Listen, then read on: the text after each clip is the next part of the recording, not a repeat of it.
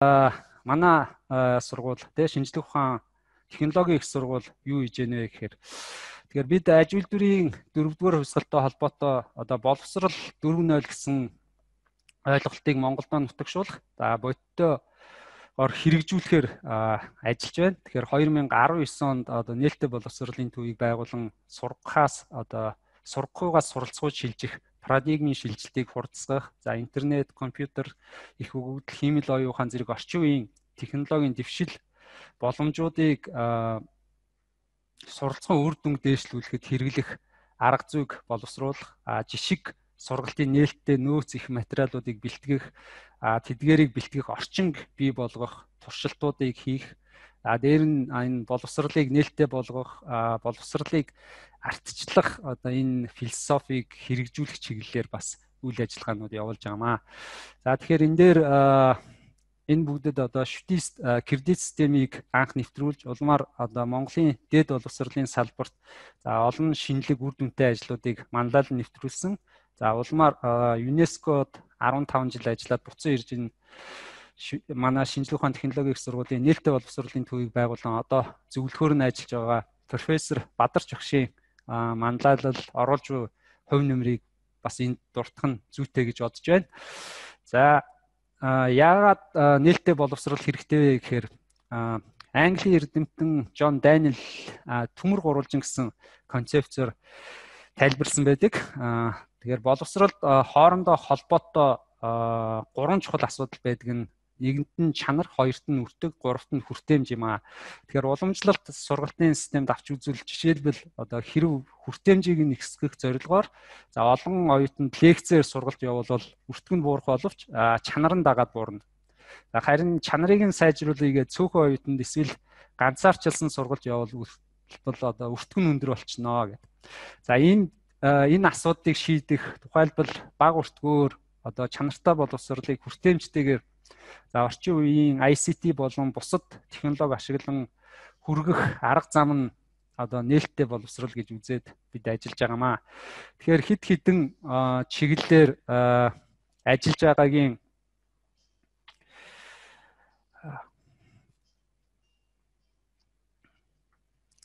За эхнийх нь энэ жишг сургалтын нээлттэй нөөц материалуудыг монгол хэл дээр бэлтгэх тухайлбал ойлгоход хүндрэлтэй эсвэл боддоор олон дахин туршиж үзүүлж харуулахад цаг хөрөнгө хүч шаардах зүйлүүдийг одоо оюутнуудаа ямар аргаар хялбар байдлаар өгөх вэ гэдэг энэ зорилгоор материалуудыг бэлтгэж ашиглаж байна. За дараа нь ер нь бол энэ суралцсан нээлттэй нөөц материалуудыг бэлтгэхэд тавигдаж байгаа гол асуудал нь энэ суралцахыг дэмжсэн сайн чанартай нөөц материалуудыг тэгээд одоо бидний нэрлэж байгаагаар Z үеийн оюутнууд суралцагчдын сонирхлыг татаж идэвхжүүлэх орчин үеийн AR, MR, VR технологиуд технологиудыг ашиглан бэлтгэх шаардлагатай болж байгаа.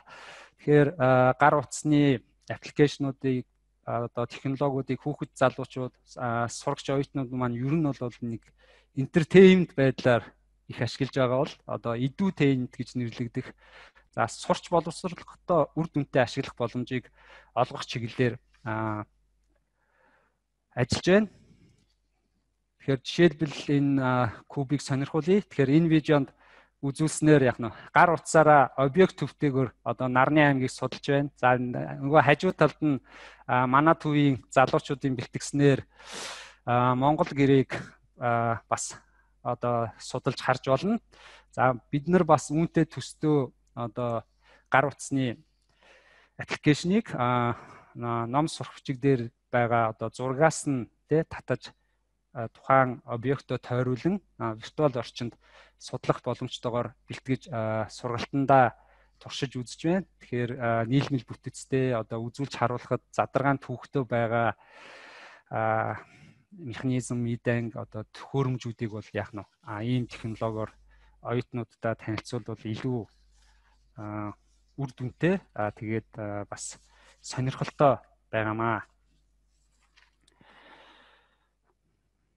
За өөр нэг чиглэл бол энэ сурах бичиг ямар байх вэ гэх тээ. Тэгэхээр орчин үеийн одоо сурагчиг ямар байх талаар бас өөрсдийнхөө хэмжээнд тодорхой туршилтуудыг хийж үтсэн. Энэ дээр тухайлах юм бол материалын эсэргүүцлийн сурагчийн жишээн дээр харуулж тайлбарлая. Тэгэхээр нэгдүгээр одоо сурах бичгээ оюутнууд авч явахад хөнгөн байхаас эхлээд одоо төлөвлөгөөтэй зорилготой бас бие даан сурахт нь дөхөн үзүүлэх дэмжлэх зорилготойгоор модулуудад хуваасан байгаа. Тухайлбал одоо 17 5 7 хоногт судалж үзэхэд зориулсан сурах бичгээ 3 7 хоногт нэг модулыг нь судлахаар 5 модулд хуваагаад за модуль бүрийн жишээ бодлого шалгах асуулт шалгалтын бодлогоудаа за тэрнээсээ явцын шалгалтуудаа аваад явна. Тэгэхээр энэ нь одоо удирдлийн явцад 2 удаа авч байгаа явцын шалгалтыг одоо 5 удаа авах боломж олгоод тэгээд яг нь сургалтын явцад сургалцсан суралцагчийн ахиц прогрессыг нь одоо эргүүлж буй даалгавраар нь үнэлэх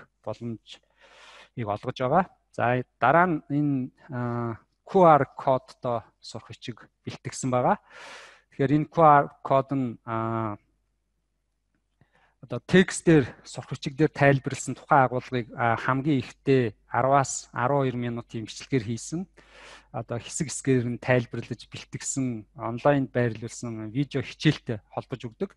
За ингэснээр оюутнууд маань яг нь текст уншиж номын агуулга судлахаас гадна за онлайнд байгаа тайлбаруудыг гар утас болон яг нь бусад хэрэгслүүдийг ашиглан хүссэн үедээ хүссэн газараасаа одоо судлах боломжийг олгож байгаамаа. За тэгэхээр яг нь энэ нь ер нь бол одоо улирдын туршид тасралтгүй жигд суралцах явдыг дэмжиж оюутнууд бас биедан суралцах боломжийг олгож байгаа. За мөн QR кодоор одоо багшийнхаа зааж видео хичээлийг үзэхээс гадна буцаагаад бие даалтын эсвэл гэрийн даалгаврын даалгавраа хэрхэн хийсэн тайлангаа за оюутан гар утсаа ашиглан видео бичлэг хийгээд мөн онлайнд байрлуулж болно. Эсвэл яг нь одоо сургалтын платформ системүүд дээр буцааж апплод хийж тавьж болно. Аа тэгээд яг ер нь бол энэ зөвхөн багштаа шалгуулахаас гадна нэг санаа нь бол онлайн оюутнууд нь өөрсдөө хамтарч суралцах боломж олгох. А нэг нэг өөрөөсөө суралцах тий а хин яаж бодсон байна, яаж тайлбарлаж байна гэдгээс нь одоо харилцан туршлага судалж одоо бие биенээсээ суралцаж мэдлэгийг одоо хамтдаа бүтээх боломжийг олгоно гэж үзэж байгаа. За мөн энэ зарим судалгааны үр дүнгээс харах юм бол 2030 он гэхэд ер нь уламжлалт лекцийн хичээл гэж байхгүй болохоор харагдаж байгаа. Энэ дээр тод хүрэн шараар одоо харуулж байна. Тэгэхээр дэлхийн нийтийн чиг хандлагыг дагаад ер нь цаашид лекц семинарын материалуудыг одоо харгалзах сурах бичгийн агуулгын хүрээнд нь видео бичлэгүүд, нөөц их материалууд бэлтгээд одоо гэрт нь урьдчилан судлуулдаг. Харин уламжлалт одоо гэрийн даалгаварт өгдөг даалгаврыг ангид нь бүтээлч даалгавар гүйцэтгэх, багаар ажиллах, мэтгэлцэх зэргээр төсөл суурилсан тонгороо анги, тэ хосолсон блендed сургалтын хэлбэрээр зохион байгуулах чиглэлээр бид бас туршиж ажиллаж байгаа. За тэгэхээр тэгэхээр видео бичлэгүүдийг хийхэд бид одоо уламжлалт байдлаар тий хичээлээ самбар дээрээ заадаг хамгийн дүрхэм технологи болох энэ lightboard технологиг нутагшуулж нэвтрүүлж ажиллаж байгаамаа. Тэгэхээр ковид одоо цар тахал гинт гарч яг нь огцом одоо гинт онлайн сургалтанд шилжсэнтэй холбоотой хаврын үйлрэлд шинжлэх ухааны технологийн сургууль бодлогоор эхний ээлжинд суур эрдмийн олон оюутан судалдаг математик, физик, хим болон хэлний хичээлүүдийн материалуудыг бэлтгэж сан үүсгэсэн байгаа. За энд жишээ нь Японы хэлний одоо мэрэгжилтэн багш хичээл зааж үг харуулж байна. За цаашид хид хідэн төвшөнд тухайлах юм бол 1 GB юу нэгдүгээр генерашн те яг уламжлалт самбар дээр бичиж байгаа байдлаараа хичээлүүдээ бичиж бэлтгэх. А хоёрт нь хажууд нь нэмэлтээр яг нь хөдөлгөөнд анимац төрсөлтэйгээр дэмжиж өгөх. А гуравт нь яг бодит амьдралын жишээн дээр тэр тооцоонуудыг тайлбарлаж харуулах эсвэл яг нь одоо өөр програм хангамжаар өөр аргаар ботсон үр дүнгуудтэй харьцуулж иших гэх мэтэр илүү одоо агсан төвшөнд бэлтгэхээр зорж байгаамаа гэдэг. За дараа нь 3 дахь бидний одоо манай төвийн ажиллаж байгаа чиглэл бол монгол хэл дээр чанартай жишг MOOC боловсруулах чиглэлээр ажиллаж байгаа болно. Тэгэхээр одоогоор манай улсад ер нь бол мөг ашиглагч ашиглан суралцагчдын тоо бол тийм их их биш байгаа. Гэхдээ ковидтой холбоотойгоор одоо зарим платформуд үнгүй хичээл санал болгосноор а хэрэглэгчдийн тоо бас зохих хэмжээгээр өсөж байгаа. За тэгэхээр та бүхэн бол өөр өөрсдийн судалдаг хичээлүүдийн хувьд MOOC-ийг авч судалж үзсэн баха. Олон одоо MOOC платформуд дээр одоо дэлхийн тэргүүлэх их сургуулиудын олон хичээлүүд байна. Гэхдээ манай оюутнууд яг нь одоо боломж олгоод те жишээлбэл үнгүүгээр сертификат авах боломж олгоод судлуулах те багш нартаа судлуулахад ер нь бол англи хэлний барьер бэрхшээл ер нь бол их байгаад байгаа. Тийм тэгэхээр ер нь цаашид бол энийг бол давж гарах баха гэж бодож байна. За ер нь бид одоо MOOC хийгээд эхэлж явж байхад хоёр чухал зүйл байгаа нь ажиглагдсан. Тэгэхээр нэгдүгээр уламжлалт байдлаар хичээл заадаг шиг жишээлбэл видео хичээл бичээлээд ч юм уу явах юм бол одоо энэ MOOC энэ чанар тийм сайн байхгүй. Тэгэхээр энэ дээр одоо шинэ ойлголтоор энэ суралцсан дизайн болон одоо Hutogog гэсэн хоёр зүйлийг маш сайн ашиглах хэрэгтэй байна гэдэг. Тэгэхээр Hutogog гэдэг нь бол бие дааж суралцсан талаарх одоо орчин үеийн үзэл баримтлал тэгээд сургалтын цөмн одоо өөрсдийн сурах үйл явцыг бие дааж удирдан залах ухамсартай залуучууд насанд хүрэгчд байна гэж үздэг. За суралцсан дизайн гэдэг бол сурах үйл ажиллагааг үр дүнтэйгээр төлөвлөх одоо системийн арга зам юм аа гэж үзэж болно. За та бүхэн бас дэлгэрүүлж судалж үзэх үзвэл болно гэд. Тэгэхээр ер нь сайн чанартай MOOC хийхэд одоо хүчтэй баг ажиллах шаардлагатай байдаг. Тэгэхээр агуулгын эксперт, одоо аналист, сурах үйл ажиллагааны зураг зохиогч яг тэгээд гүйцэтгэх хийх production team гэх мэтэр олон хүний яг нь одоо хүчин чармаалтаар өндөр өртөгтэйгээр бүтдэг технологи байгаа. Гэхдээ нэг сайн үг хийцсэн байхад яг нь энэ нь бол яг нь үр дүнгээ бол сайн өгдгөө гэдэг. За тэгэхээр энэ суралцсан дизайн Hutogog зэргийг үр дүнтэй хэрэгэлсэн чанартай MOOC болон сургалтын нээлттэй нөөц материалуудыг бэлтгэж онлайн сургалтыг одоо үр дүнтэй зохион байгуулахад багш нарын мэдлэг ур чадварыг хөгжүүлэх, хандлагыг өөрчлөх шаардлага үүсэж байгаа. Тэгэхээр энэ чиглэлээр манай төв хид хідэн цуврал сургалтыг тухайлах юм бол нээлттэй боловсрал, сургалтын нээлттэй нөөц их материал, суралцсан дизайн, Hutogog, MOOC зэрэг сэдвүүдээр одоо Монголынхаа ихтэй сургуулийн багш нарт болон яг нь удирдах ажилтнуудад цуврал сургалтуудыг бас зохион байгуулсан. За тэгээд энэ дээр жишээлбэл манай бэлтгэсэн нээлттэй боловсрал 5 модультай MOOC-ийг бид E+ платформ дээр тавьсан байна. Та бүхэн дурын одоо мэйл хаягаараа бүртгүүлээд энийг бас орж судалж үзэх боломжтой. Тэгэхээр яг E+ та хамтарч ажиллаад өөрөөр хэлэх юм бол Монголдо энэ EdTech-тэй боловсролын технологи хөгжүүлж байгаа компанитай бас яг нь хувийн хвшилтэй хамтын ажиллагаа эхлүүлсэнийг жишээ байгаамаа гэдэг. За энэ дээр манай түүний вебсайт харагдаж байна. За мөн бид өөрсдөө OpenEdX платформын нутагшуулалт хөгжүүлэлт хийж байгаа. Тэгэхээр энэ дээр хамгийн сүүлд хийсэн хичээл бол дээд боловсролын удирдлага нэртэй MOOC-ийг бэлтгэсэн. Энэ 6 сард бэлтгэж сургалтыг зохион байгуулж явуулсан. За тэгэхээр энэ хичээлийн зорилго нь зүгээр сонирхол бол тэгээ уламжлалт одоо байдлаар зохион байгуулалтаа анаарах гэж нэрлэгдээд байгаа. Одоо энэ их сургуулийн засаглал удирдлагын бүтээц манлайлалын асуудлуудыг авч үзсэн өөрөөр хэлбэл энийг одоо бизнесийн амжилттай яваад байгаа туршлагуудыг ашиглан хэрхэн их сургуулиудыг үр дүнтэй удирдах болох вэ гэдэг чиглэлээр бэлтгэсэн MOOC байгаа. Тэгэхээр төрийн өмчийн их сургуулиуд боловсрол шинжилгээ ухааны яамны одоо удирдах ажилтнуудад зориулсан сургалт энэ хүмүүгээр бэлтгэж явуулсан байгаа. За мөн агуулгын экспертэр бол бадарч агш ажилласан. За энэ дээр зарим одоо видео хичээлүүдийн жишээнүүдийг харуулж байна. За ер нь технологи орчноо бид бас нэлээд сайжруулж байгаа. Тэгэхээр шинжлэх ухааны технологийн их сургууль 2007 онд анх MOOC-студ байгуулсан байдаг. А тэгээд энэ жил бид нар одоо шинээр баригдсан 8 дугаар байранда нээлттэй боловсролын төв шилжиж орж ирээд мөн MOOC-студээ байгуулсан байгаа.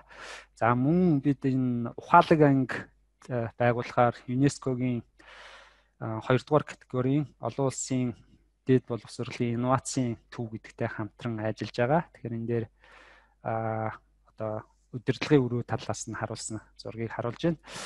Ер нь бол энэ химэл оюун тий ны технологи бол сургалтанд зайлшгүй нэвтэрж байгаа. Тэгэхээр бид нар энэ дээр ихний туршилтыг хийхийг зорьсон. А энэ систем бол одоо багш хичээл зааж яхад багшийг нүрийг нь дагаад трек хийж дагаж бичдэг. А мөн самбар дээр мөн дэлгэцэн дээр гарч байгаа зүйлүүдийг нь бичиж аваад серверт хадгалах эсвэл шууд дамжуулж хичээлийг нь түгээх.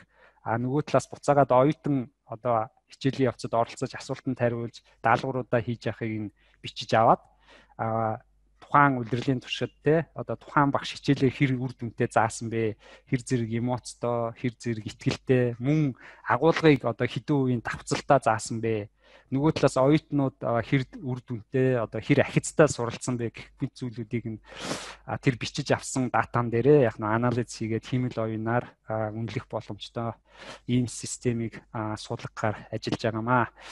За за тэгээд яг уу ер нь бол хамтын ажиллагаа байгуулагчнаас хойш ЮНЕСКОгийн харьяа салбар нэгжүүд мөн одоо тэргүүлэх их сургуулиуд MIT Америкаас Хятадаас Цинхуа их сургууль платформуудын хувьд энэ курсоро мөн Шутонгс гэдэг Хятадын номер 1 платформудтай бид нар хамтран ажиллагаа хөгжүүлж байгаа. Тэгэхээр бид нар тэндээс тэнд тавигдсан одоо жишээлбэл MOOC-үүдийг жишээлбэл энэ шутонгос аваад одоо Монголд орчуулгатаагаар нь авч ашиглах эрх авсан. Тэгэхээр бид нар хүссэн хичээлээ тэндээс бүр их source code-доор нь видео бичлэгийг нь аваад энд бас нутагшуулах талаар ажиллаж байна. А мөн бид нар өөрсдийн бэлтгэсэн хичээлээ тэдгэрийн платформуд дээр тавих боломжийг а эрэлхийлж ажиллаж байгаа. За тэгээд хамгийн сүүлд энэ одоо Японд докторант судлаачдын бүлэгмийн гишүүд зарим гишүүдийн дэмжлэгтэйгээр Осакагийн их сургуулийн энэ онлайн хичээлүүдийг авч ашиглах талаар мөн хамтын ажиллагаа хөгжүүлэх талаар яриа хилцэл хийгээ явж байгаа. Тэгэхээр энд хувь нэмрээ оруулж байгаа хүмүүстээ бас талархлаа илэрхийлэхийг хүсэж байна. За за ингээд ерөнхийдөө тавчхандаа илтгэлээ дуусгая. Тэгэхээр яг уу энэ илтгэлээс та бүхэн бас тодорхой хэмжээний шинэ мэдээлэл олж авсан байх.